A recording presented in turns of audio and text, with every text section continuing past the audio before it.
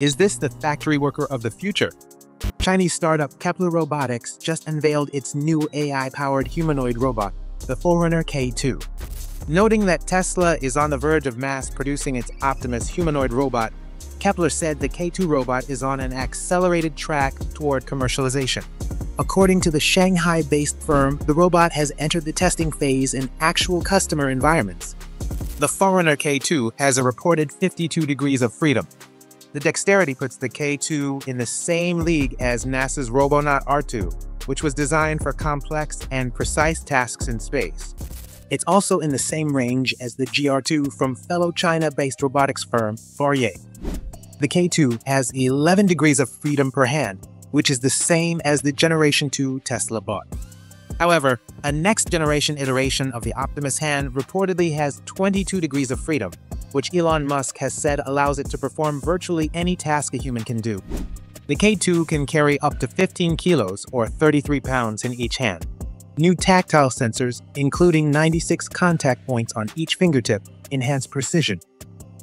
The launch comes less than a year after Kepler introduced its first-generation humanoid, the Forerunner K1. The Gen 2 bot upgrades include improved dynamic perception, task planning, full body movement coordination, and autonomous learning. Improvements to the robot's gait planning and stability control make it more dependable in complex settings. With its 8-hour battery life, the K2 is geared toward industrial tasks like intelligent manufacturing, logistics, and high-risk operations. It uses proprietary planetary roller screw actuators in its arms and legs. They provide up to 8,000 newtons or almost 1,800 pounds force of thrust. This level of thrust is enough to lift heavy industrial components like large machine parts and steel beams. China is stepping up its efforts to lead the global humanoid robotics market. According to China Daily, local and central governments are pooling their resources as the country aims to mass-produce humanoids in 2025 and corner the market by 2027. Officials just elevated the Beijing Embodied Artificial Intelligence Robotics Innovation Center, or Humanoid, to a national-level research hub. That means the center, established in November 2023, will receive funding from Beijing as well as the central government to accelerate research and development. Earlier this year, the center introduced Tiangong, a general-purpose humanoid robot with an open-source and open architecture design to encourage further innovation and development. Standing 1.6 meters and weighing 43 kilos, the AI robot is fully electric and features cutting-edge flexible sensors and actuators. The center, the first of its kind in China, said it will use the increased funding to establish industry standards reduce R&D costs for enterprises, expand use cases, and accelerate the product development. The ultimate goal is to make humanoid robots essential in industries like manufacturing and logistics. The center is also speeding up work on its Kaiwu platform, which will combine more than 100 key skills to handle complex tasks. They're also building a national dataset with more than 1 million entries, open for the whole industry to use for improving AI systems, training robots, and developing better technologies across different fields. China Daily reports that, since the beginning of the year, manufacturing provinces like Zhejiang, Shandong, Anhui, and Sichuan have also set up innovation centers. The Zhejiang Humanoid Robot Innovation Center recently showcased its Navii Navigator 2, which features a reported 41 degrees of freedom. The center is primarily funded by Supcon, which specializes in intelligent manufacturing and industrial automation. And in May, a new Humanoid Innovation Center in Shanghai was built with national and city funding. The National Local Joint Humanoid Robot Innovation Center recently unveiled its full-sized general-purpose humanoid robot, Qinglong, featuring a reported 43 degrees of freedom. The open-source robot's hardware structure and related technologies are being shared through the OpenLoong community.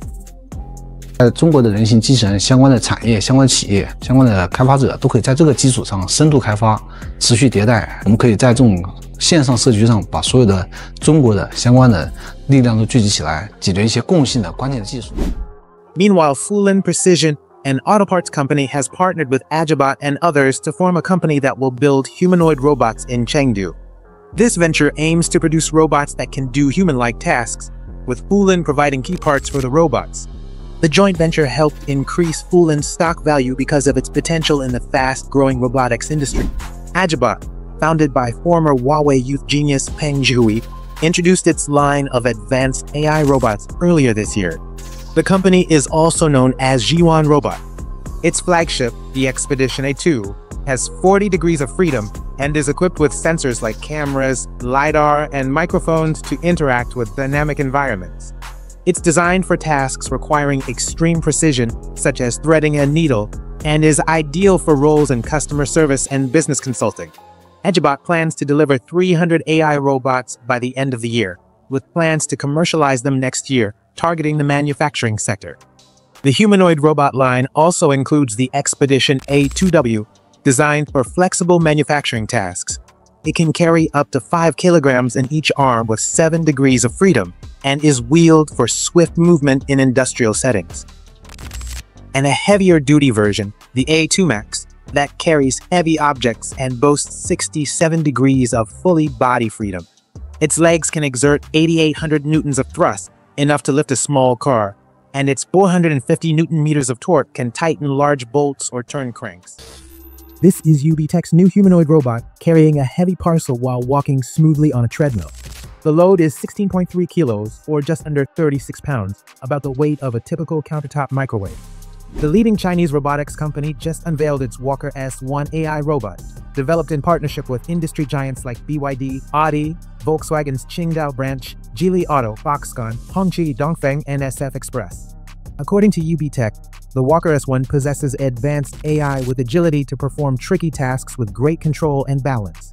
Its camera system provides 360-degree safety monitoring, while its hands have special sensors to grip and hold things with just the right amount of force.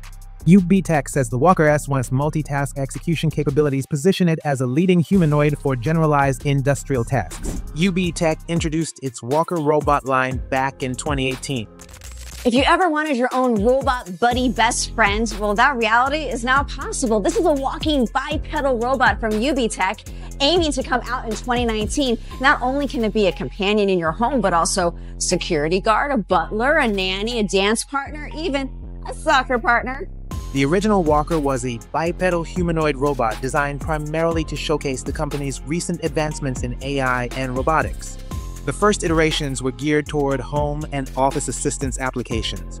Around 2020, UB Tech began shifting the Walker line's purpose toward more versatile uses.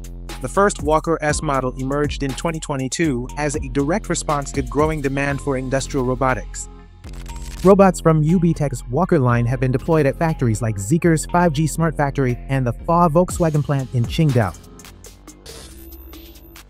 Fourier just shared this cheeky footage of its advanced AI robot, the GR2, in the beginning of its bodybuilding journey. In the video, the humanoid robot goes nuts with a pair of adjustable dumbbells that presumably weigh 6.5 kilos or 14.3 pounds each. For a human, curling that much in each hand is relatively light, especially for regular weight trainers. For a humanoid robot, though, it's notable as it requires highly advanced strength and dexterity. While a robot weight training might seem like a farce, it has valuable applications. For example, the GR2 could assist patients performing strength training exercises for physical rehab, which is a particularly strong domain for Fourier. Founded in 2015, Shanghai-based Fourier initially focused on rehab technology. As Fourier gained a reputation for pushing boundaries, the company ventured into humanoid robotics. When Fourier introduced its first-generation humanoid, the GR1, in 2022, they leaned heavily into patient care. Fourier's rehab division offers Rehab Hub, a platform that integrates devices for walking, standing, and balance improvement, along with Metamodus Galileo, a lower body exoskeleton system to help patients regain strength and mobility. Fourier introduced its second generation humanoid earlier in October, emphasizing its high torque rating and 53 degrees of freedom. Its 380 newton meters of torque is enough to lift patients into wheelchairs, move furniture, and operate industrial tools. In a video posted on Fourier's website, the robot is seen performing tasks at an SAICGM facility in China. The GR1 had 300 newton meters for torque, which is sufficient for lifting its own weight, but offered much less power than the GR2. Fourier says the GR2 has 12 degrees of freedom in its hand. That's the same as NASA's Robonaut R2, which is designed for precise tasks in space. Fourier's advanced actuation system provides precise control of the robot. Each joint in the GR2 is powered by a flexible series actuator unit specifically tuned to meet its unique torque demands. According to Fourier, the system's dual encoder system doubles control accuracy so the robot can perform high-precision tasks even in challenging environments. Compared to the GR1, Fourier's latest robot actually has one less degree of freedom. Humanoid robot designs strike a balance between complexity and practicality.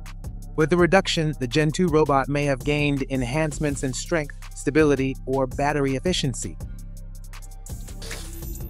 This is Jaka K1, a new humanoid robot designed for high-precision tasks ranging from electronics assembly to surgical assistance. China-based Jaka Robotics just unveiled the AI robot at the China International Industry Fair in Shanghai. Standing 1.8 meters, the K1 has 29 movable joints and 14 degrees of freedom in its arms. The robot uses high-tech sensors, including depth cameras and touch sensors, to see its surroundings and carefully handle objects. With six-dimensional force control, the robot feels and reacts to pressure from any direction. This helps the K1 avoid applying too much pressure during delicate tasks. Jaka says the robot learns from its surroundings with its advanced AI making real-time decisions to adapt as needed.